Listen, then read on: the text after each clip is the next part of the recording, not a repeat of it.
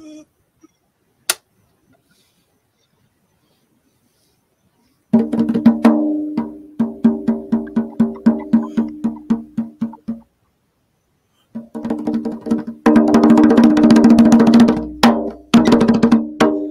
to me live from the future, it's Steve the teacher.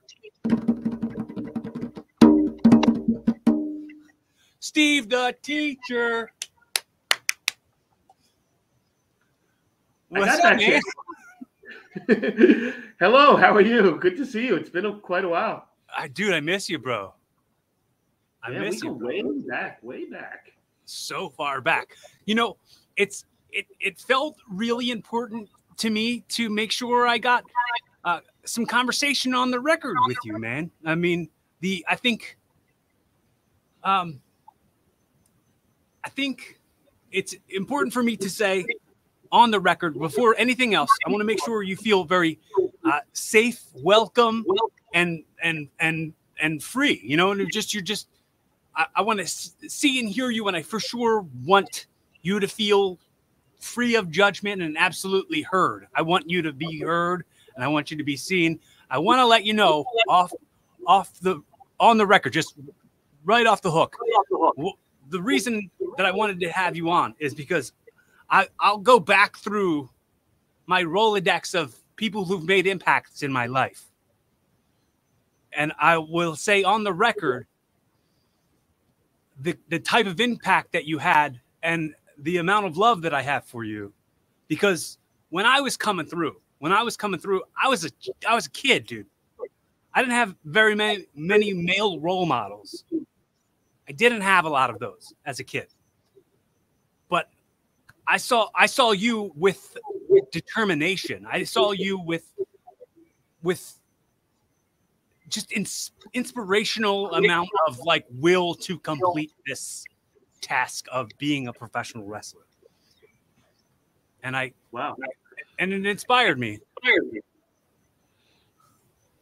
wow. I don't know what to say to that. Uh, I'm very humbled. Um, yeah, I started late. 34 years old was when I started. Well, actually, 33 when I started trading. 34 first match. You know what's Um, funny? but- When we met, say, that was old to me. That was old as shit to me back then. I was I was like 15 or something.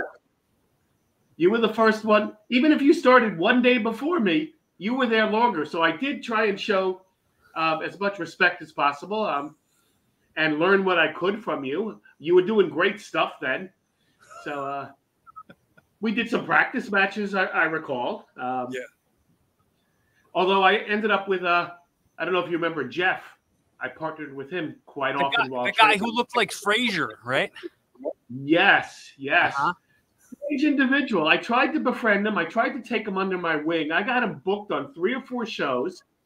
I got him booked for World Star Wrestling against Jimmy Snuka. And the day of the show, Steve, I can't go. My work is having a barbecue. I, I'd rather go there. What? I can't believe that. It's like, it's like uh, bro, all I'm do all I'm ever doing is trying to stick my neck out for y'all sometimes. Yeah.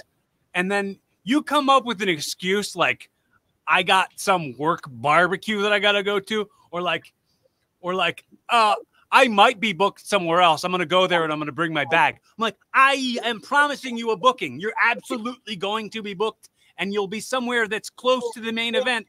But you know what? Go take a booking where you might get booked. Go beg your way onto some show that may or may not have you on, and isn't it's it's a gamble. It's a full full on. Who knows? You know, when I think back on those times at the uh, CZW dojo, um, one of my favorite moments uh, was actually when um, Alex was in the ring. Hmm. And uh, some kids were walking by and they were screaming, Hey, that's Abdullah the Butcher. And I absolutely thought that was the funniest thing. Alex, you're talking about um the crossbones guy? Uh, the tattoo artist, the piercer, Yeah, yeah, Wax's friend at one point. yeah, yeah. I wonder what happened to that guy. I still see him on Facebook quite frequently. I helped him design his latest uh, training plan. He wants to get back into shape. I remember really liking him. Yeah, he was a great guy. Everything was funny to him, and yeah, he, he looked like Buddha. Yeah, he was a great so, guy. So why don't you why don't you walk me and whoever's listening or watching through what your last few years have been like? Okay. Uh, well, I did retire from wrestling. Uh, we're probably going back 10 years at this point. Um, I was wrestling for Tommy. I always get those two Tommies mixed up. Tommy Cairo, uh, Force One Wrestling against, uh, oh God, I can't believe I don't remember his name. Uh, Jaden was his manager, Tommy Force. Okay. okay. I went to do my uh, swanton off the top. He rolled the wrong way. I adjusted midair, gave myself a concussion. He put me in a figure four and tore my meniscus. And I said, yeah, no, uh, driving this far for $20 to come back with these two injuries, having the drive alone. So I stopped. Uh, then I made a, I got to close the door. These dogs are fucking, excuse me. Uh-huh. Uh, about six years later, a friend of mine, uh, Ralph Ray from RPWF, um, said that he's doing a show. I was their champion. I retired at that point, and uh, it's been six years. He said, Steve, uh, we need you. Uh, the people are asking about you all the time. I put on 80, 90 pounds at that point. Um, but I said I'd do him a favor. I went the night before. I worked out in his ring for about 10 minutes. Um, there was no opponent that showed up for me. Nobody remembered me whatsoever. Wait for the pop. Wait for the big pop to come. Oh yeah, people ask me about you all the time. Uh, I was blown up at the end of the first spot. I was then wrestling a 19-year-old uh, Ty Awesome who was running okay. circles around me. Oh my god! Uh, some fans screamed, "Get him some Geritol!" So I I re-retired after that match. Um, that's my teaching career. Moved to China. Uh, was running my own business for about a year. Then that same Jaden, who I mentioned before, mentioned a Chinese federation he heard about. I emailed the promoter, um, who was an American, um, and the guy was willing to take a chance on a 55 year old, uh, ring rusty, overweight guy who was never really that good in his prime, whatever my prime was. Um, so he brought me in to do a one minute spot in a rumble. Um, and no promises. A few months later, he brought me in for a one minute run in on the other side of the country. And then after that, I became a regular roster member. So I was there for the last three years. Um, had some interesting matches with some opponents of all levels. I uh, I, I, I want to hear it all. I, I, am yeah. interested in all of it.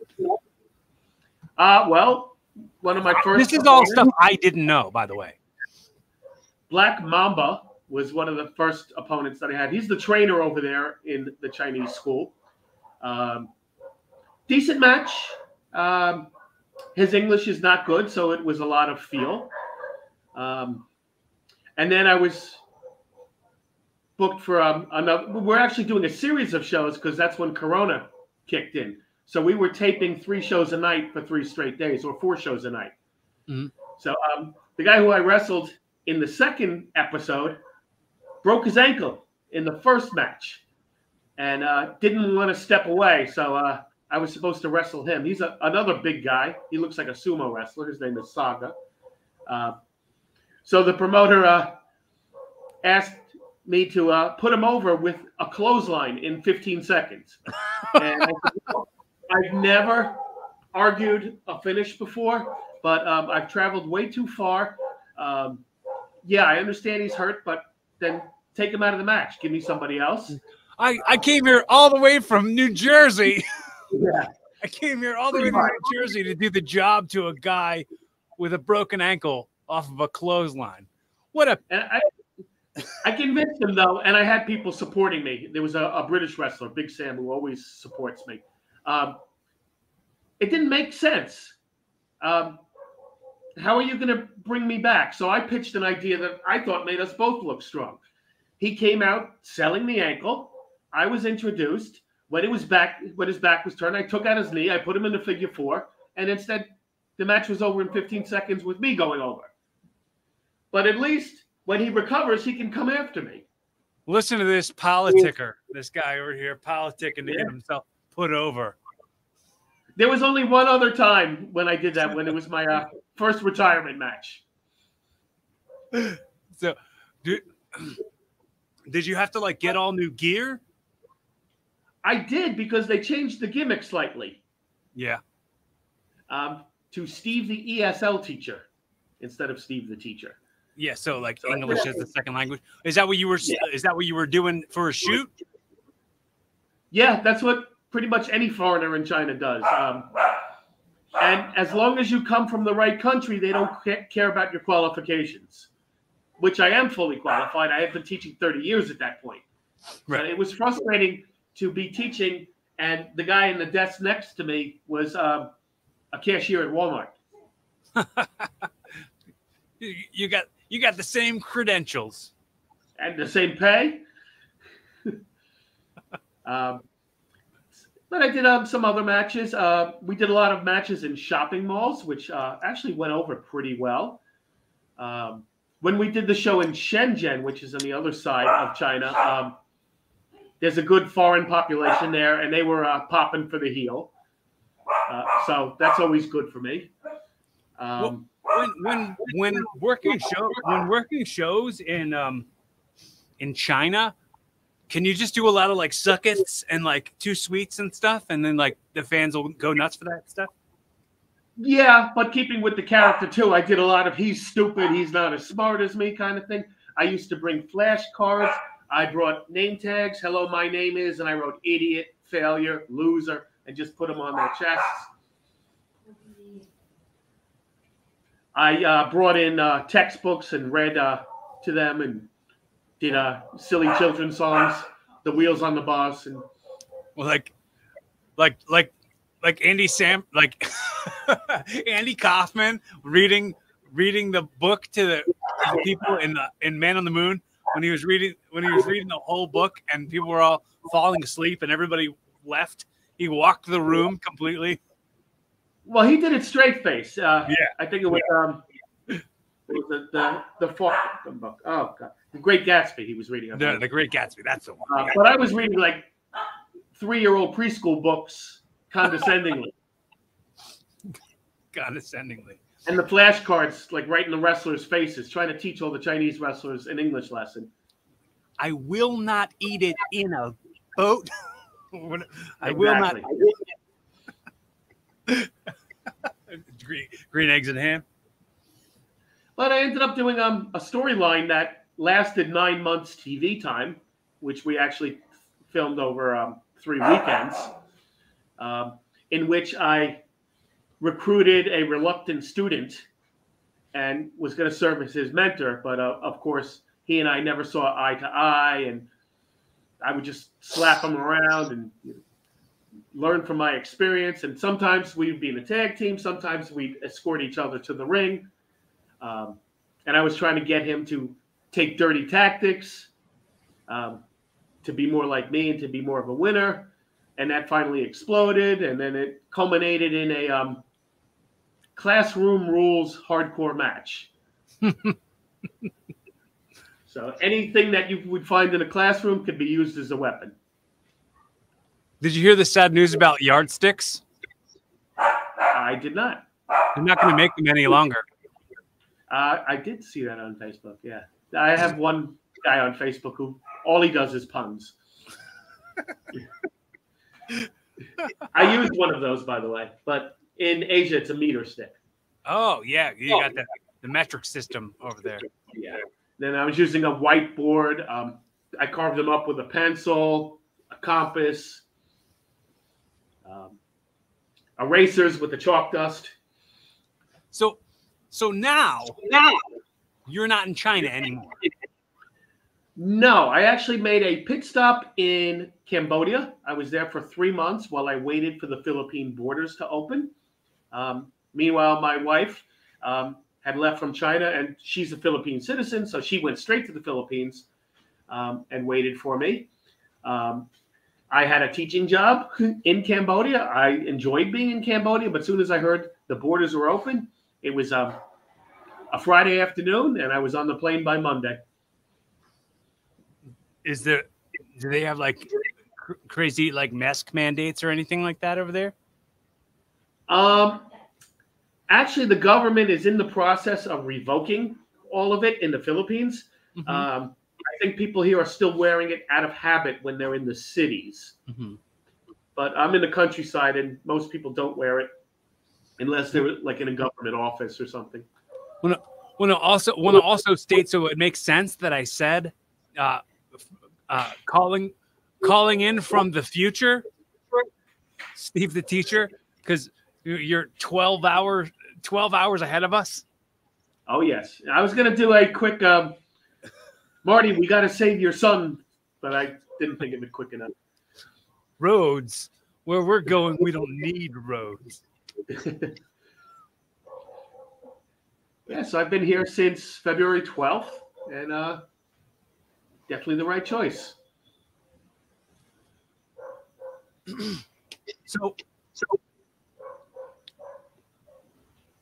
is there is there a way that you can wrestle in the Philippines at all? Is there a, is there a, a, an indie scene at all? Does a wrestling environment exist? There is a small wrestling scene. To the best of my knowledge, there's three federations, but they work with each other. At first, they were feuding, and now they have some kind of agreement.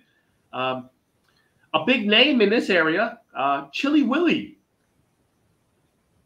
Uh, in fact, uh, The the penguin from Woody Woodpecker.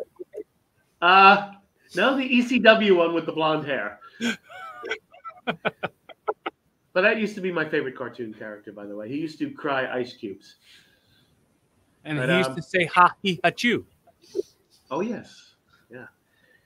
Going backwards, um, my very first match was in Brooklyn, New York, LIWF Doghouse. While I was still training at CZW, um, actually, that was one of the the nicest things that uh, the trainers had ever said to me when I showed them the videotape. They said, "Oh, that wasn't bad for a first match. The guy didn't sell for you, but that's not your fault." Um, but anyway, Talk about me? in L- Talk about me. Uh, no, my opponent in Long Island Wrestling Federation. But um, I was there, um, and a lot of the guys who were working for um, Jersey All Pro and JCW and all the and ICW at the time, they would appear at the doghouse because they ran on Fridays every single week. So they would just get in match time there. Mhm. And one of the guys was, uh, in fact, he did wrestle in CCW. Um, all money is legal. I don't know if you recall that tag team. Yeah, Um, me me and Jeff used to job to those guys in CCW.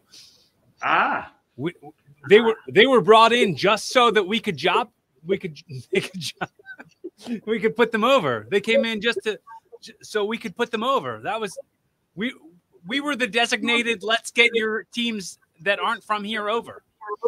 Ah, that's what I am in China, by the way, or, or was. So he was in the locker room that night, my very first match ever. And then he was in the locker room in my very first China match 18 years later. Oh yeah. So that was a creep. So Which, he's the which, one who. which one was it? Uh, well, now he goes by Bufa. Um, I'm not sure if he's Murder or Pusher, to be honest Okay. with you. One of those two.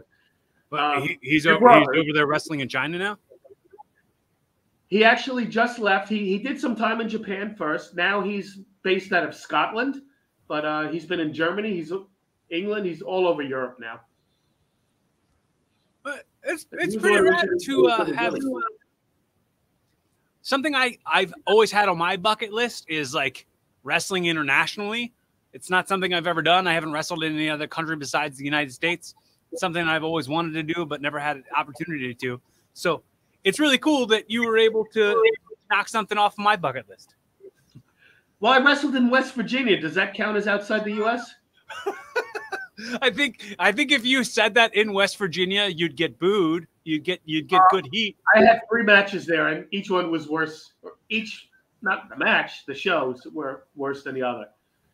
Dude i had a i had a show in west virginia once where um, it was like at a barn, and it was freezing cold. It was in a barn that was like heated by like these like jet engine heaters. You know, Mhm. those like jet engine heaters, Yeah. and the the the the heat like the heat was escaping my body the whole time, and it was in a barn, in a barn that was A you heated. yeah and it was it was like this the same like scratch your head what the hell am i getting myself into? Why did i come all the way to west virginia to to to wrestle like i'm such a mark for my own Yeah, self. me too. Yeah, uh, it was a horrible uh, experience. Eric Shea convinced me to go, Mhm. um, and then when I went to pick him up in Maryland on the way, he couldn't go. oh So I ended up going by myself in the snow, six hours altogether. It was at this, I want to call it a lodge. I mean, it was like a bar, but with like a deck and um, an outdoor deck. And um, the Gemini twins were there, also from DCW. I trained with them. yeah uh, Um, and then, um, i heard they're not uh they're not buff anymore ah, those, those guys i heard they're not any they're not buff anymore I lost contact a long time ago. Yeah, same. I, the the last time, the last time I had any interactions with them was uh, they were doing the the German Third Reich gimmick, Yeah, yeah, yeah. the the like skinhead Nazi gimmick, and uh, me and me and Bomboy, me and Matt Bomboy, uh, had a match against them in uh, on a ballpark in the rain in Delaware for DCW. Ah, yeah. Um, so that show in, in it was Mound, West Virginia. Um, it was supposed to be an afternoon show. It didn't start until the evening. Uh, New Jack was on the card, and uh, he showed up backstage in the locker room, which was just the outside deck. And oh my god, you know, people criticize me because I speak poor of the dead sometimes, but I don't think dying gives you a, a clean slate. I'm sorry. No. Yeah, dude, if A lot of you're if you're a dick, you're you're a dick whether you're an alive dick or you're a dead dick. Yeah, he was pissing over the edge of the deck. And then um, they put him in with this 17 year old kid who was training for two weeks. Nice kid, green as hell, obviously. Did he stab him? Uh, multiple times, yeah. He because he had the audacity to call a spot. And uh, yeah, it, it just wasn't a pleasant experience for me. Um, and I, I worked with him two other times, and it was not good. Um, I never worked against him, but we No. were on the same. But, um, speaking of the Gemini twins um, with the German gimmick, I had wrestled them in Triple WA, and um, one of them, because they are identical twins, uh, kicked me pretty stiff in the head accidentally, Mhm. and the other one comes into the ring. Steve, uh, calm down, relax. Take, uh, I'll just give you time. And he was like jawing with the crowd, which was pretty cool because he knew I got hit harder than what was intended. One of them, one of them in that match that I was talking about that was in the rain, stuck his finger directly in my eye and knocked my contact lens out. Oh boy. And I wrestled one eye for the rest of the match, and I, I want to never have that experience again. The last time I wrestled with contacts was training in CZW Dojo. It got knocked out. I couldn't find it. I showed up the very next night, found it, and put it in my eye, and Dahmer almost threw up. Yeah, that seems like a that's puke worthy. I, I've always been that way. Uh, as a teacher, I would leave my coffee on my desk on Friday, come back Monday morning and drink it. And I'm teaching in Camden. And the kids are going, oh, that's gross. I'm like, I thought you guys were supposed to be tough. It- Well, I mean- like that don't get to me. I mean, drinking, drinking, drinking, drinking days old coffee isn't as gross as sticking a contact that was in a disgusting ring Yeah. back in your eye. Did you like wash it out first? Because I can imagine No, you could like was- get an infection. It was all crunchy. it was wrinkly and crunchy. I know a trick that I used to do was like pop it in your mouth so it's wet again, and then pop it in your eye. Makes sense. Ah, this guy is annoying me. Oh, there's a doggy. There's a doggy. Yeah. He's too loud. Get away from me, Toby. Uh, So- yeah, the second time I had a incident with um, New Jack, I was working on ACPW or ACW in Northern Philly. Northeast Philly. And, uh, ACW. Gemini- yeah. Yeah, Gemini brought him in unannounced as the new booker, and he had a meeting with us all. And Yeah, I he's screaming about how unprofessional these workers are, and um, none of you have boots, and you don't have proper gear. You should look like this guy, and he's pointing at me. And I'm like, I'm like the least skilled employee here. Um, don't use me as a role model. Yeah, I was there. I was there for that. So, I was, um, so I've told this story on this podcast a few times, but in regards to New Jack supposed to be like the booker, is it, is it like the, the, the go to move to grab some guy who used to be in ECW and make him the booker of your wrestling company? Like, it seemed like for a while there in the Northeast, everybody was kind of doing that. Yeah, and in fact, I had um, an argument with the uh, the Philippine wrestling guy uh, who uh, he's been wrestling a total of three years, the booker there, and he thinks that he he's a 25 year old kid who knows everything. Um, and he said, "Hey, I wrestled Tajiri," and I went, "Well, wrestling Tajiri in Asia is like bringing in C.W. Anderson or um, Little Guido to your show. It's it's it's not a big deal. You I mean, 100 bucks, they're coming in." My- I mean, being able to wrestle Tajiri is probably pretty awesome. Yeah, but I mean, if you're mean, doing, I wouldn't compare wrestling Tajiri to wrestling C.W. Anderson. Yeah, um, maybe I'm being a little bit harsh, but I, I mean, Yeah, you've had dealings with Helter Skelter, right? yeah, dude, I love Helter. Uh, well, I heard he became a stand-up guy, but when I was involved with him, he was just paying people to uh, job to him. Sid Vicious, Bundy, people on that level. Well, I think Rocky was very much taken advantage of by people. Were were were um stealing the house based on his money. Right. you know so like they they like advertise a advertise a talent and then have him pay the guy to come work so they'll put that person's face on the flyer in order to put asses in seats but Yeah. then the guy's gonna have a dog shit match against somebody who can barely work Yeah. Um, in fact, he was working Bundy that night in Reading, and um, they told me to go in and uh, help beat down Bundy with him. Mhm. And then the whole locker room emptied, and uh, Ron Starr grabbed me back of the head and said, "Steve, you don't want to be here for this." Threw me over the top rope, and they all shot on him. that's sad dude he's a, he's a, he's he's not he doesn't have ill intentions in any way like the guy Right. the guy's the sweetest guy and all he's ever wanted to do was be a wrestler but he didn't have the the resources to learn how to be a good wrestler and he didn't start at a young enough age and maybe he didn't have the the the, the skill or the the social skills to like Yeah, I think that I think he just hit on it with that last description. Yeah. The the Yeah, because um, after the match, um, he he heard that I live just outside of Philly. I go into my vehicle and he's in the back seat already. Can you can you take me home? And I'm like, uh, what? he was in your car He was in my car waiting for me, and then he didn't even give me gas money. And uh, it wasn't the nicest section of Philly. I'm like, you just paid Bundy six hundred bucks. You can't give me a ten for gas. That was when gas was a little more reasonably priced. Yeah i know i know where he lives i've been to his place Tasker, I think it was. Yeah, I, I've been there. I know, I know where it is. but yeah, uh, that's like that. That's the street my girlfriend's dad lives on. Ah, I think Tasker, South Philly. Yeah, man. It's uh it's it's it's it's funny to like pull up this kind of like this this old like it's very very um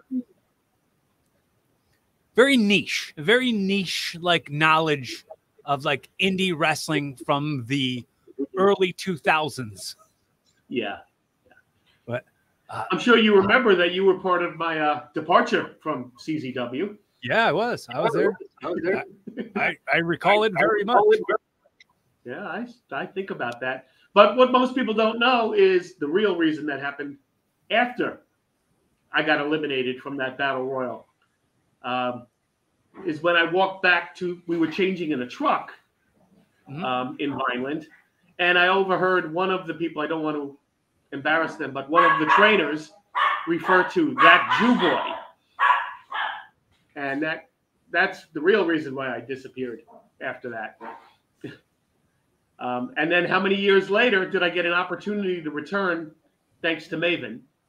A one night only thing, but um, it I didn't uh, know that you did. I didn't know that you had a had a return. Yeah, it was uh, a small show. It was at a strip bar.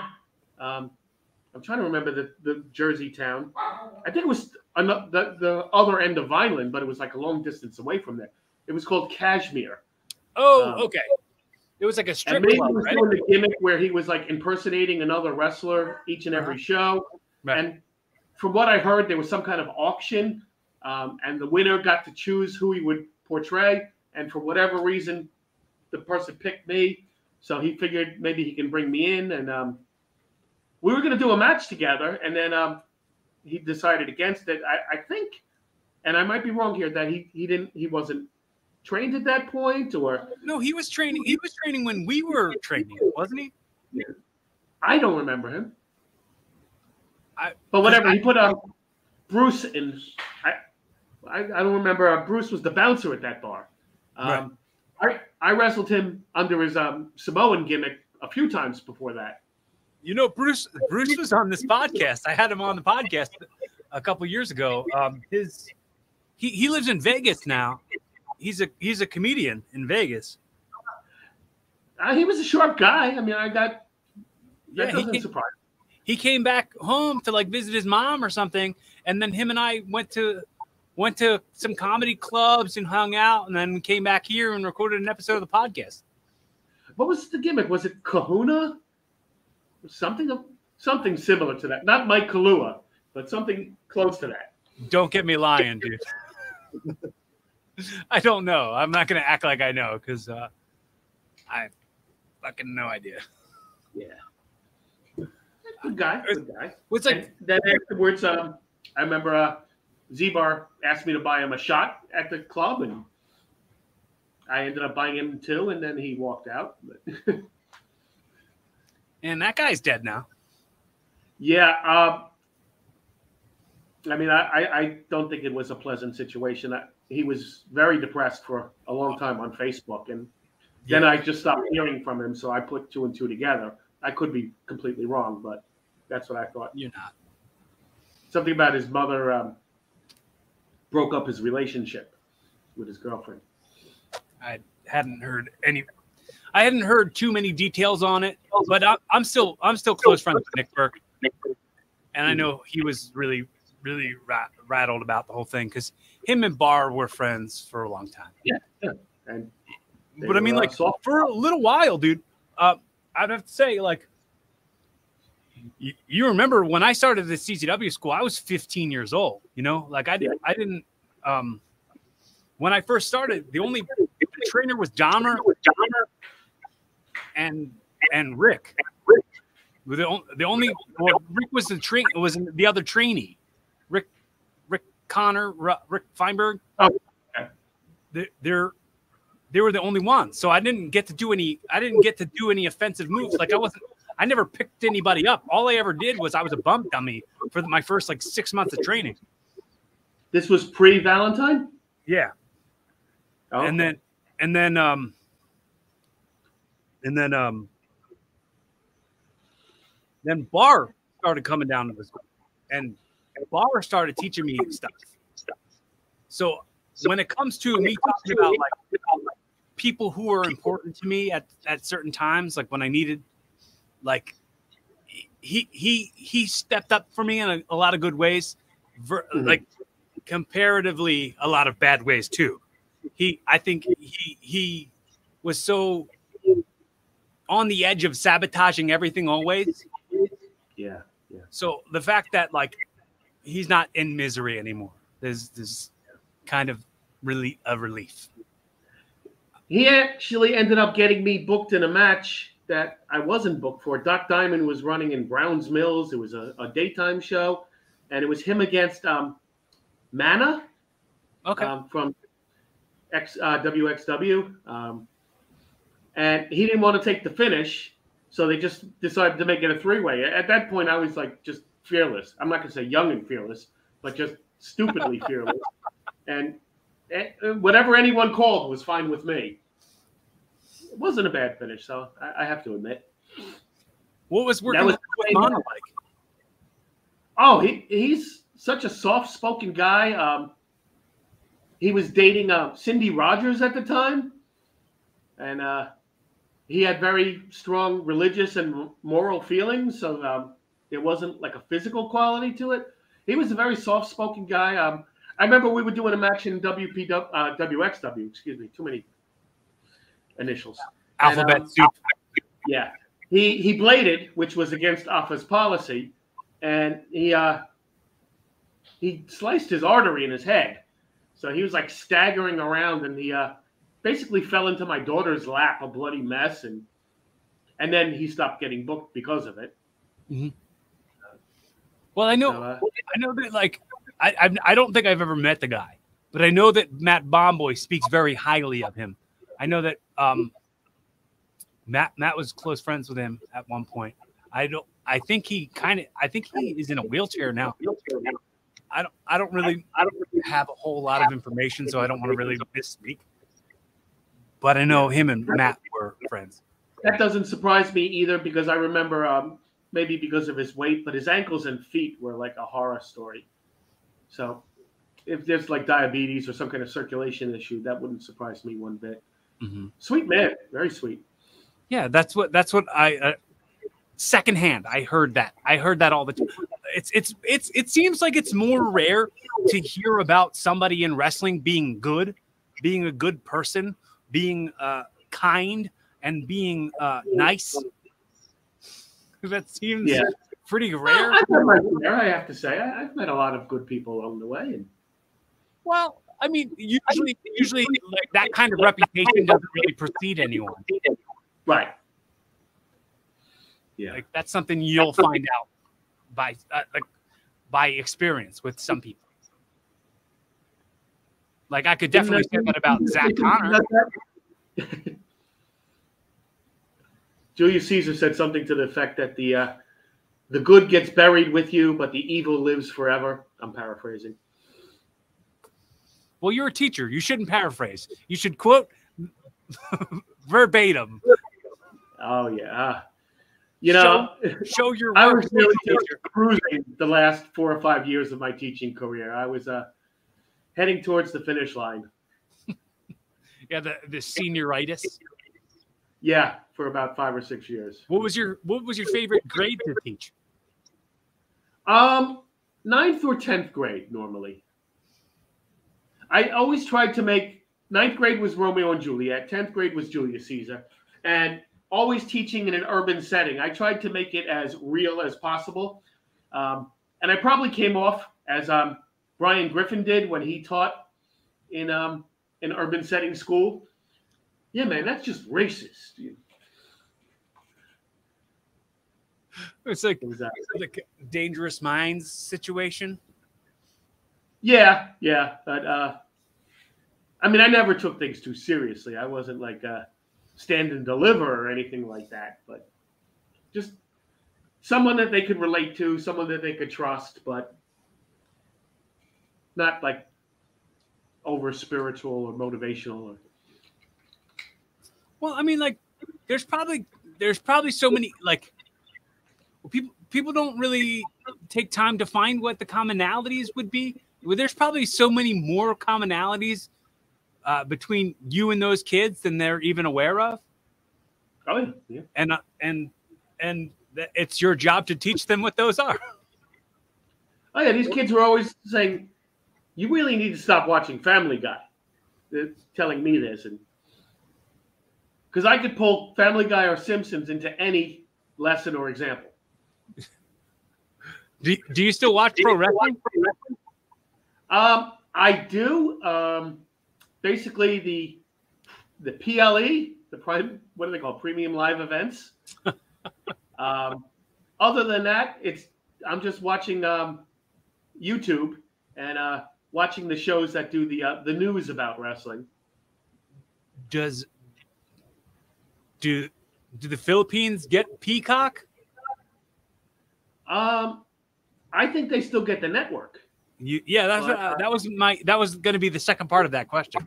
So you still probably get the WWE network there. Huh?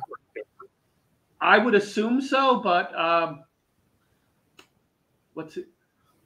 Eric Pinhack from the Diamond City Machines up in Northeast Pennsylvania a long time ago told me about this little website called Watch Wrestling, mm. and I can watch everything there.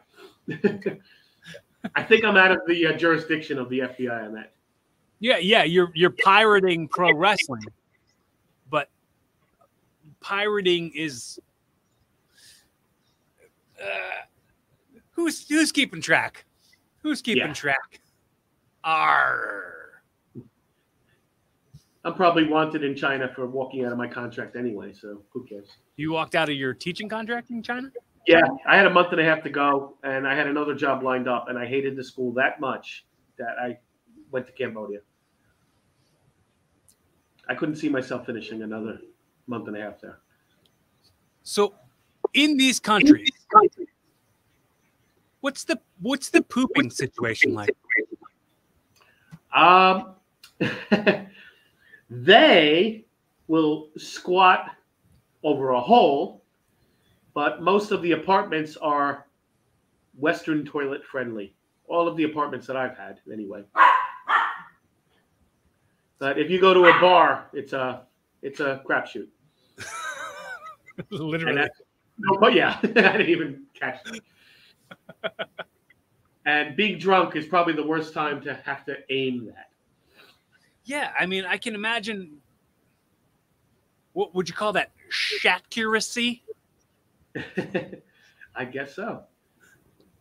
Uh, I mean, it probably takes a while to to acquire that skill. I would guess so. Um, in the Philippines, the first place that we stayed at had Western toilets, but not um, automatic plumbing. So you had a small bucket, and you would just pour water over it and activate the flush mechanism. I had um, I had a girl in the podcast a couple years ago who who had spent time in Thailand, I think, mm-hmm. and she was talking about how they didn't have she said they had like they had she called them bum guns. It was like a bidet that they it it spray your spray your bung and then you just wipe it dry and throw that in the trash. I think that was uh, well, we have an attachment for that. We've never used it because it's got a leaky hose. It's just like the one that we have is like um like when you're washing your dishes and you know you have that spray gun. Um, Mm-hmm. But yeah, like it, has been a, a, plumbing issue since before we got there. So, but yeah, um, flushing of paper is not recommended. Yeah, it seems. Uh, it seems like it's a recipe for uh, a flood. Uh, no, it's in the wastebasket. Uh, but it's uh, you go through a lot of air freshener. I was gonna say, doesn't your like bathroom stink all the time? For some reason, no. I don't know why. And um, if people know the amount of protein I consume daily, that's even more shocking. I'll be the first to admit that. Uh, in fact, you, you can ask my buddy Breaker about a drive we had up to uh, Northeast Pennsylvania when I was uh, snacking on protein bars. He'll, he'll tell you. You know the Breaker is really funny. Uh, very recently, I found out that Breaker's wife is my girlfriend's godmother. Oh wow! And I and I I texted him. I texted Matt. Yeah. And I was like, I was like, hey, my, I was like, my girlfriend, my girlfriend's godmother is your wife. And he said, oh yeah, who's your girlfriend? And I was like, Alyssa. And then he didn't say anything back. And I don't think I've talked to him again since then. Oh boy. But, yeah, he's been with her since high school. What's that? Him and me have been together since high school. Him and you and Breaker? No, uh, his wife Mia. Oh, oh, I thought you said him and me have been together since high school. Like, yeah, you guys aren't the same age. What are you talking about? You know, uh, one of my early matches with um, another UWF based out of Delaware at that point. Um, no, Oxford, Pennsylvania, but the show was in Delaware. Um, it was my second booking with them. Uh, Jeff Rocker got me in with them, and um, they didn't have a match for me, so they made me the ref. It was an outdoor show uh, in July, and there was no other ref. So I was in. I was actually getting pops because the fans appreciated that I was with them the whole time. Um, and the main event was Breaker against um, Midnight, and I had never met Breaker at that point. Um, and yeah, that was, that was when he had his long hair and stuff, right? Yeah. Oh yeah. um, we became very close friends and driving partners for many, many, many years. But at that point, I, as we're in the ring, I, what's your finish? Breaker driver. I'm like, what the fuck is the breaker driver? I, have had that with a few people. Um, is it Death Valley driver? Uh, I think it was. I don't even remember. But uh, I remember I was wrestling WPW um, in my Japanese gimmick, and uh, I was wrestling Molson, and we didn't even talk the match at all. I said, "What's the finish?" And he goes, "Molson down." I'm like, "What the?" I don't know what that is. I don't follow you that closely. Does Give that me mean real does that mean that I'm over now? Does that mean you're putting me over? Is that what you uh, down means? Me over? A, a variation of a spine buster. Um, I gigged. I gigged once in wrestling right here. Can you see that? Little scar. I'm on a small screen though. I was up. Uh, it was. I had been wrestling already 13 years, and I'd never been led in a match. But I, I was like, I was going to be wrestling Matt. I was going to be wrestling Breaker, and I know that like he had experience with that, and I was like, oh, I'm gonna let I'm gonna let him gig me because I know he had done it before for Chris, Chris Wild. So he um what the hell was the guy? Uh, Tony Stetson. Do you know Tony Stetson? Tony Stetson had given Breaker scalpels, and Breaker he popped me right there, and uh, I guess it hit something, and I just never stopped bleeding. And the ambulance came and took me, and uh, yeah, wish that I didn't do that. I met Breaker through Cannonball, and then I started training with them in um, Les Morgan's furniture shop in New Jersey. Yeah. And uh, I'll never forget, I was wrestling Breaker. Uh, no, I'm sorry. Diego DeMarco was wrestling Breaker in training, and Breaker's kid just started crying. And I'm like, don't worry, I'll save your dad. And I did a run in during their practice match just to calm the kid down. The, and I have so many breaker stories. Oh my god. Uh, we were wrestling SWO once. We were the first match of the night. I had brought him in there. They didn't know him, uh, Wolfman and all those people. And um, as you know from the Battle World days, I can't throw a working punch to save my life. So if you're my friend, I tend to be stiffer because you, you know my situation. So he had his head down, and I punched him really hard in the top of the head. And like you said, the long hair, he throws his head back. You stiff motherfucker! Right in the middle of the ring. Dude, you know what's funny? Um, Breaker and I, Breaker and I had a match against each other in DCW, and we were we were told no blood. No one was allowed to gig, and we we called a spot where like I ran him into the post and and we hard hard way, but he for sure he for sure gigged. But he was like he was like fucking haul off and punch me, just fucking hard punch me right in the right in the head. And I was like, I'm doing it and I'm feeling really bad because I'm hitting him. I'm giving I'm potato in his head like hard, and he's like, God, God. go yeah, yeah. I still I still think about it. I'm like, ah, I didn't want to have to potato my friend so hard. Now you mentioned gigging. I never intentionally gigged, but I bled quite often. Um, and one time, it was before the match even started. Uh, I was in uh, Pennsylvania, uh, World Star Wrestling Federation. Uh, as I was making my way to the ring, the lights went out. I had my clipboard in my hand, and I'm trying to climb through the ropes, and I cut myself with the metal hold on the clipboard before the match started.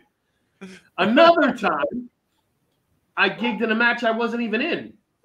I was doing um, pull apart in WPW with um, Sinister X and Molson, and they're throwing these big arms over us.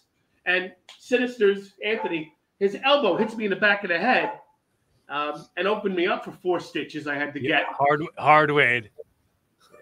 He Sinister felt X so bad and he sat with me all night. And uh, What a sweet yeah, guy, dude. Well, I, Yeah. I I haven't seen him in years. I still see him posted in certain shows up in that area. But uh, I don't know why he never made it. He, I mean, he had the look, he had the size. I know he had some issues with driving. I, I think it, I think I think it was probably some sort of like age thing. Could be, yeah. Most likely, most likely, it had to do with his advanced age. Could be, yeah. I, I, I guess because I was older at that point, I didn't notice stuff like that. Yeah, dude, you you you were you were ancient to me at when you were 33 years old, and I was like, oh, look at this old guy. I'm like, 33 is young to me now. I had a match at 55. I I think um I think I'm gonna go till I'm 50, and then I'm gonna hang them up. But I well, I, I mean, I I've been I've been speaking about this for a couple months now, just just to, to my to my loved ones, just my my close friends and family and stuff, saying like, I will. Okay, uh, here I am. It just it just hit the anniversary of that battle royal, right? It just hit the 20th anniversary of that battle royal that we were both in. That was my first match as Corey Castle. My first appearance using the name Corey Castle was there. Uh, so 20 years, uh, I'm 38 years old. Uh, I n- never uh, earned a living off of wrestling. I've never had wrestling as my main income. I've, mon- I've never monetized my wrestling career. But I would say if I get to the point where I'm at 50 and I've still never monetized, I don't, I don't see, I don't see that as a, I don't see that as an option to me, me getting that old and never having made it. Yeah. Uh, well, that, that's the difference between you and I. I had an established job at that point. Um, I just wanted to live out my dreams. Um, I never, whenever somebody said, "Oh, are you a professional?" I would always, it's my glorified hobby. Um, Yeah, some people golf. yep, that's just the thing that I like to do. It's been part of my life since I was ten years old. So uh, it's the most consistent thing in my life. It's like I I'm an expert at it. I'm an, I have the ways that I can can expertly analyze it. And like I've spent more time of my life doing this and being part of this and loving this than I've spent not doing this. So I, I mean, I don't see. I kind of, I don't see it as my my job for sure. But it's like for sure this is this has been a hobby for forever, and I used to shame the word hobby as far as referring to uh, being a wrestling enthusiast. I would say that me calling it a hobby was was like a like a red flag to me. Like I, it would trigger me. I would get upset about that. But like, Yeah. it's it's so pay to play. It's just like a hobby. The wrestling, the independent wrestling, is so ridiculously pay to play that Oh, there's no other way to refer to it other than saying a hobby. I remember my buddy Cage got really angry at me and some other people the other night. Uh, the other night, 15 years ago. Uh, The other night, a couple years ago, we would work a match for free, and we he would always say that people like us are ruining it for people like him who are trying to make a career out of it. And I'm like, aren't I entitled to have fun? I mean, hey, hey, uh, can I, can I, uh, can I, can I, uh, also, not, not to shit on Cage because I love the guy. I, Chuck, Chuck's my bud, but like, when I was coming back, when I was coming back to the wrestling business after having this craniotomy, and I was trying to get booked places. This one company that I was trying to work for in PA, I forget what it was called, but I knew that like uh, Lance was there. Lance Anoa'i was there, and Craig was Craig was refing for them. My friend Craig, and uh, he brought me there. I I met the I met the promoter, and uh, and and this is this is going to be the first time I've, I've dropped the names of it. Um, but the guy asked me what I wanted to get paid, and he said, "Why would I pay you that when Cage and his partner come here from Rochester, New York, for twenty dollars?"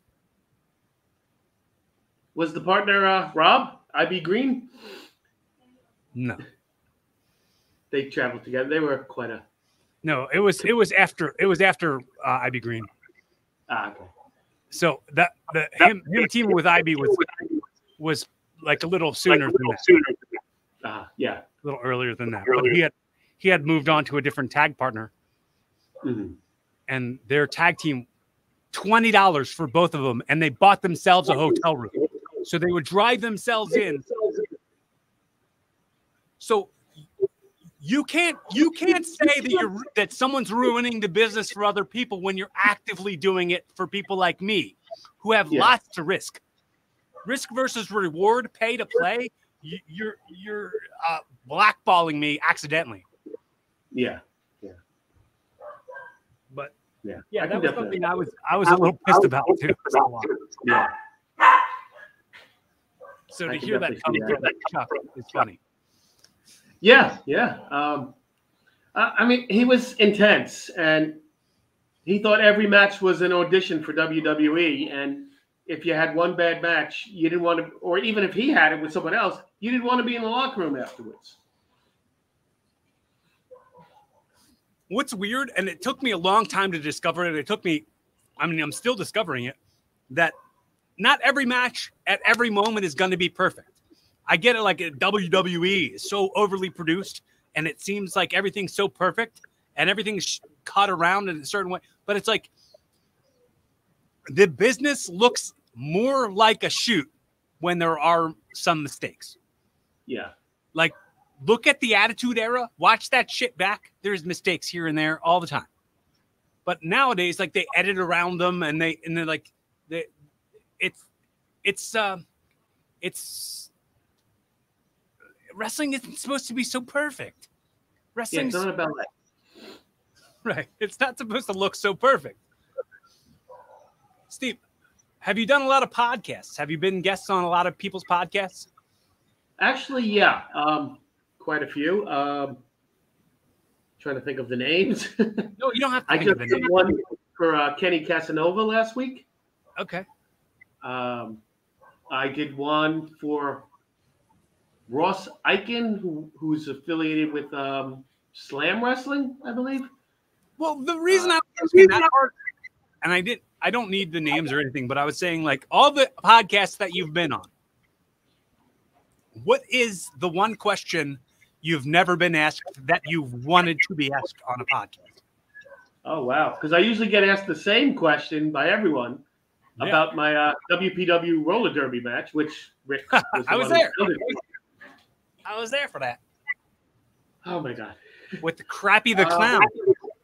Oh yes, I, I bumped to toilet paper. I, in all fairness, I bumped to silly string against Doink once too. So, Cool. oh, what have I not been asked? Uh, I don't know. I, I, have to think about that. Uh, wow, wow. Uh, I Wha- don't know. I don't know how to answer. So I'll I'll give you the opportunity at this point to th- while while you're thinking about that, uh, I would like to give you the opportunity since I I something super important to me the the ability to say things on the record and to know that the things that we're saying are going to outlive us. So this this conversation with you and I, me telling you about how important you've been to my journey how how how much respect and love that I have for you. Uh, th- that that kind of stuff is on the record. So in 20 years from now, we can listen back to this and we can we can know that that that exists. Uh, True. That recording exists. I want to give you the opportunity to say to me anything or ask me anything that you'd like to ask me, and uh, and just kind of spin it on the you're you're the host for a minute. Wow. wow. Uh, what was the most rewarding thing or event that happened in your wrestling career? Um, it, it's it's a, it's a strange one, dude. Uh, I, I I don't think I don't think you even um, were around when this happened to me. It's been 11 years now since I since I returned to the ring after uh, after this brain surgery. Yeah. So like they cut my head all the way across like that. I got a big scar under here. So um, I returned to wrestling, and this is um, this is not a thing I talk. I, I mean, I've talked about it on here a few times, but um, the night that I came back to wrestling, Sure. the night that I came back to wrestling after that 13 months, uh, uh, of staying away from it, the, the the first show back was a WPW show at the Reading Phillies Arena. Um, but it also happened to be it also happened to be uh, Rick, my best friend Rick's uh, his his last match. That was his retire like that was the same night. So I came I wrestled Ray earlier in the show, and Matt Bomboy and Rick were wrestling each other, and that was both that was their both of their last matches for WPW. And it was my first match back to, to WPW. So it was almost like a ships passing in the night situation. Yeah. yeah. And when I came back to the locker room after the match was over, I ran far away and and was uh, crying to myself over over underneath the bleachers because I was happy. I was I was excited to be back and I was uh, really emotional. And Bomboy came up to me. Bomboy came back to me. He came up to me and he was like, "You're back, dude. You're back." And I was like, "Get away from me!" I ran away because I knew you'd come up to me. I, I just need to be alone for a minute. And I also I also didn't want to steal the glory of my friends. Like those Yeah. were, those are those are and still are two of my best friends that I've ever had in this world. And th- that was a special moment for them and I didn't want to I didn't want to cry get my tears all over it. That's very mature of you. I came over here to get away from you specifically. Because I'm not trying to steal your thunder. I, I think for me, it's when um, promoters uh, would say nice things about me to the rest of the locker room. Um, I had one incident where um, Harley Watkins had booked me. We had wrestled on shows together. He was running a show. I think it was Hanover, Pennsylvania, or something like that. I don't know. But as I walked in, he broke into a speech about Steve is a veteran in this business. And whatever he tells you to do, you make believe it's coming from me. You do it. You don't ask. And I'm like, where is this coming from? And what was even surprised was Cage was in that locker room, and he, he's got many years over me. And like, it really shocked me. And then, of course, I ended the show. It was the main event, and I put over his uh, nephew, who was doing a like 140 pound Undertaker gimmick. Well, well, I mean, you got you gotta you gotta butter the guy up if you're gonna ask him to do the job to your nephew. I, I, I mean, I know I told you those two stories about me um, changing the finish, but um, I, it was never about that for me. It was always about making both of us look strong. And even in China, I was offered by the promoter squash him in two minutes, and I said no, I refuse. I, I don't do that. I said he needs to come back next month. I need to come back next month, and uh, if I can do some cheap little cheap trip him on the ropes or put my foot on the rope, whatever it takes, where we both look like either of us could have won. Well, that's that's part of also like the the becoming a draw mentality. So if you go like, what are the what is the motivation for the people to want to come back next time and see it happen? If this already this squashed already, this happened already in minutes and it, it didn't mean anything. Like we gotta we gotta give them a reason to want to come back and see it again next time. And also, I, I had a similar thing with um, Tommy Cairo uh, in Force One. Um, Big Slam has put me over at that point. I think my record against him was 0 and 17. And um, so that night it became 0 and 18. Show up for the next show, and he goes, Steve made that guy look like gold. Rematch, Steve goes over in front of the locker room. There was other uh, explicit language, but I did. Did Walt put you over? Yeah, um, but again, I wanted everyone to look strong, so I, I had uh, Jimmy Clydesdale as my manager. I had him distract him. All right, and then I went uh, the the small package.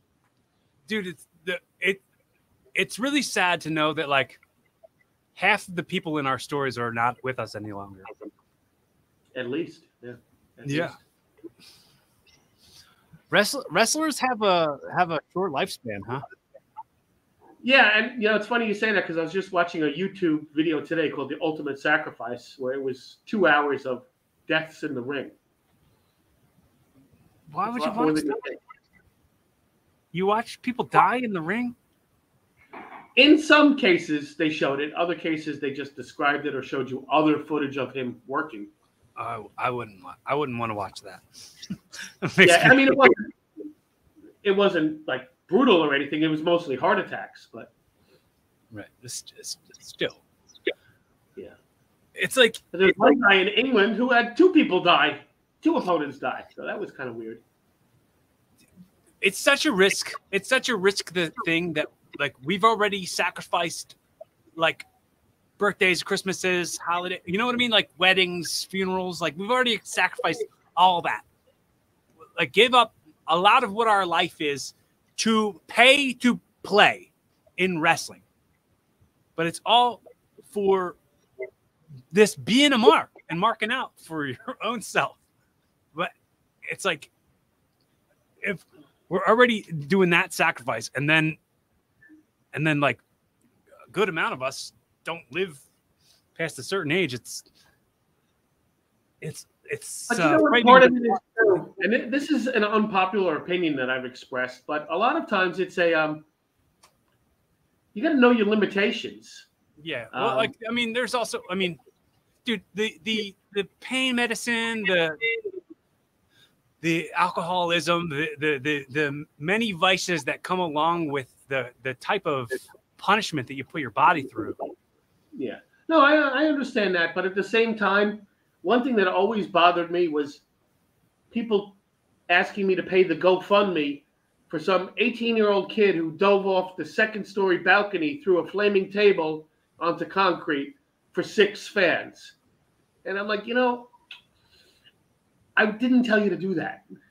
Right. A lot of people don't like me for that, but there there are choices too, and well, I mean, like knowing your limitations. This guy in China was calling uh, for this really fast-paced lucha spot, and I'm like, I'm 53, man. I, I can't do that. I said, just let me do what I know I can do, and then we'll both look good. And he didn't understand, so we did the spot, and it looked horrible.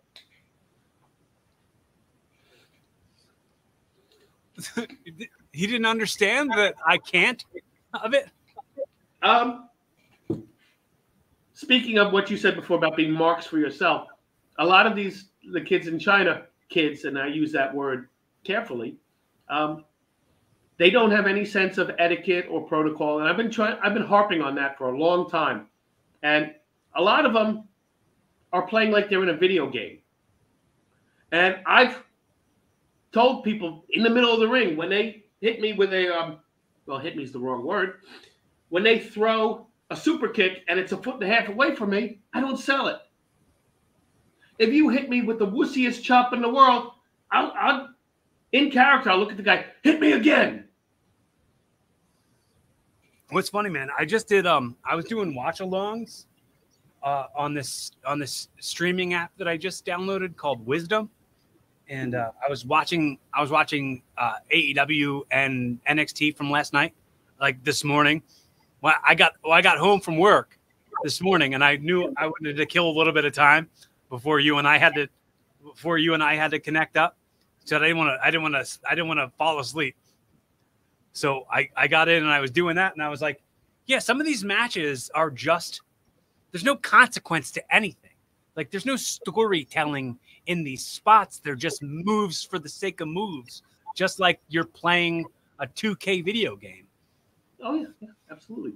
Um, and that's why I mean, people who are putting people through tables, and the guy gets up and goes right back into the next move, like doesn't even register that he's gone through a flaming table. Well, I, I was saying the fact that like these people just take chops and don't even sell them with their face. They take moves and then don't even sell them, don't act like they hurt at all. It's like it's like that's that's kind of not fair. Like, yeah. dude selling for you. Exactly. Yeah. I, I had one guy in China. Actually, he was an, um, a Mexican American tall guy who uh, did that. And I'm like, man, you're not the Undertaker. You know, at least register it on your face. Show that you're angry that I did it. Mm-hmm. If it didn't hurt you, don't deadpan me. I have to say, I didn't. I didn't sell your stomps because I didn't feel them. Fair Twenty enough. years ago. 20 years ago, I didn't sell your stomps because I didn't feel them. I forgive you. What's that? You're forgiven. Thank you. Thank you. I, I was hoping you weren't holding that against me when I heard you say earlier, oh, they look good, but the guy didn't sell them. I'm like, ah. I thought you were Never. I thought Never you were shooting on on Jersey Reinvasion Battle Royal and, and especially at that point when I was so green that, like I said, you were at the school before me, so whatever you did was right and whatever I did was wrong. And I don't mean that sarcastically. That was my approach at that point. Did you know that I was a virgin at that time? I was I was such a nerd. I you'd you'd you'd think to look at me that I was a, a handsome, pretty boy, but uh, nobody liked me. I didn't I didn't get girls until after I was already Corey Castle and on shows and shit. Uh-huh. I, uh, I, I, never uh, got any female attention based on my wrestling of any kind for any reason. Well, you were already married. You were already way uh, married. Uh, at that point, yeah. You're already way married. Went down the, the tubes eventually. It came to an end oh. after 19 years. Okay, so you're remarried now. Yep. And for as much hardship that I endured over that time and depression and suicide attempts, this might be a scoop for you. Um, the way everything worked out, I wouldn't change a thing. Steve, what do you think happens when you die? Ah, that's another good question of yours. Um, I'd like to think that there is some kind of reward, a, a resting place, um, open to all religions, um, where people can live in harmony. But uh, unfortunately, I, I, tend to be cynical about things like that, uh, always hoping for the best. You never know, because if you're wrong, George Carlin did a, a whole routine about people who uh, believed in religion, just in case their negative fallback plan. Yeah, basically. George Carlin, George Carlin, uh, such a prophet, such a prophet, and like when you look at the the coronavirus and lockdowns and the crazy Trump shit, like all the stuff, you're like, oh man, I wish George Carlin was here to commentate this weird world that we're in at this moment. But all this yeah. stuff he said, it's the evergreen, and it still it still applies if you were to apply it in any of the the the the wacky few years that we've had. Uh, but there's and with all the stuff that he talked about, um, I always enjoyed his uh, description of your stomach rumbling. It was definitely not his typical politics and religion and right. anti-materialism. So I got I got just a, uh, just a few more things for you, and then I'll send you off into the I'll send you off into the sunset with a hot dog and a handshake. So, like the good old days. Just like the good old days. two hot dogs. My price is two hot dogs. so, uh, I do this. I do this segment every show called audio time travel. Okay, so like we talked talked about earlier with you how this this this communication, this interview, this, this conversation, this podcast, this episode, this is outliving us both. Uh, I say, take yourself in the next minute, and you're speaking directly to your grandchildren who stumble across this recording in 2042. You're speaking directly to them in an audio time travel. What messages are you giving them in order to help them evolve? Oh, well, this one is easy for me to answer because um, I'm living proof of it. Don't let anyone tell you that you can't do what you want to do, you can't achieve your dreams. Um, the only thing that's stopping you is yourself. And it really holds true for me because, uh, I mean, against all odds, at 34, having my first match, um, and I never thought, I mean, I'm not saying I'm a superstar by any stretch of the imagination, but would you have thought I would be a 10 time world champion? with my C minus talents, with my uh, A presentation, is what I used to, between the, um, the mic work, the promos, connecting with the audience. I, I always build myself as that C minus with uh, an A plus ability uh, to get over. And that only worked in certain types of promotions, like the old school stuff. I oh, would yeah. never have had any kind of success in CZW. I mean, they would have tore me up, bro. Like, while while working in front of smart fans is good, I'll I'll take shindy fans who don't understand don't understand the inner workings of wrestling. I'm fine with that because they they suspend their disbelief and enjoy themselves. Yeah, yeah. And I've had fans, um, what was Quakertown, Pennsylvania. I did a show there. Um, some lady took pictures with me. I do another show for another Fed. Six years later, same building. There she is with all the pictures posted on a collage. And I made that much difference in your life that you saved this for six years. You know what's weird? I always misspell the word. I always misread the word collage as college, and I also always misread the word uh, message for massage.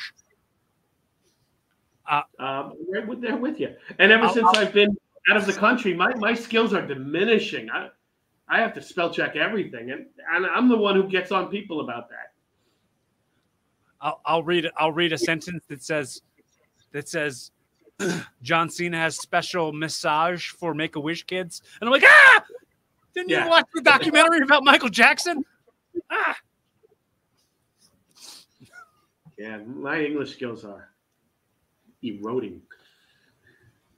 So the the way we wrap up is a. Uh, I say hypothetically, I've gifted you this show, and this episode has been your first episode, your pilot episode to evolving with Steve the teacher in a very Jerry Springer's final thought type of way.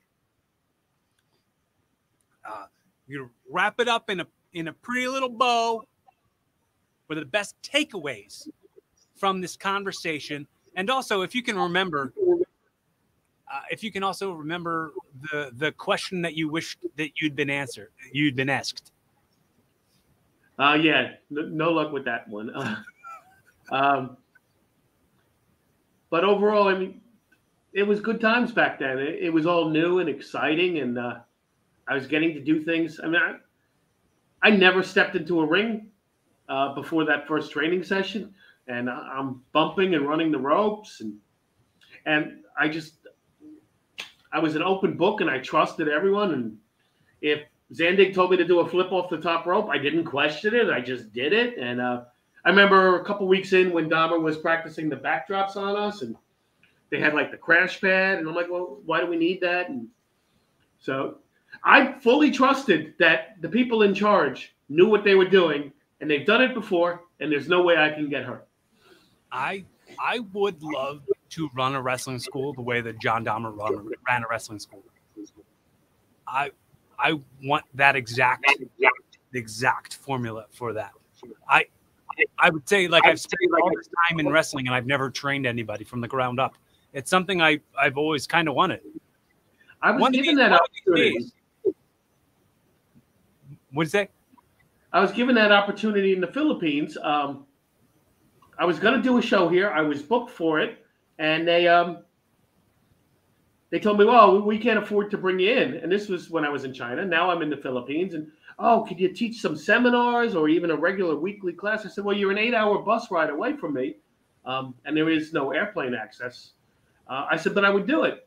And then they said, "Well, uh, like as the show approached, we don't have the money." I said, "Well, I'll pay for it." I'll pay for the bus. I'll pay for the hotel. Um, all I ask is that you give me the show. The most recent one is September 11. Uh, not that that date is significant for the reasons everyone thinks, but um, I said by September 1st, please give me all the information so I can make the arrangements. I need time to make the arrangements. Plus, I get my pension check on the first, so that's when I have the most money available to do such a thing. And I asked them three or four times, and um, they just never got back to me. And here, it all of a sudden, September 13th, I'm still sitting here and I'm seeing the show on Facebook, and it, it really hurt. I mean, I really wanted to. The etiquette in all of Asia is horrible. Uh, my friend, who I mentioned before, Big Sam from England, his explanation is that there's no adults in any of the locker rooms. These are just kids behaving like kids, doing anything to get themselves over. Um, they don't shake That's hands. Not Asia, man. That's everywhere. That's everywhere. It's the, the the thing was the wrestling business used to be set up like it was it was uh, almost like the mafia. adult male males who could who would scare you because they were violent individuals. Like if you if you held up an exact comparison to the attitude era versus today, like you would be like, yeah, I could beat up any one of these guys. But if you look back at the Attitude Era, you're like, yeah, I would not touch, I would not start anything with any of these people. Like the, the thing about the thing about wrestling, it seems like it seems like the saying was always if it was easy, anybody would do it. And then they were like, okay, let's let anybody do it. And you can thank social media for that. Yep. So it, it appears like it's easy when it's fucking not at all. Yeah. It is But not. even common courtesies, shaking hands, um, don't leave until the show is over, help with the ring if you're needed. Uh, the heel calls the match, the veteran calls the match.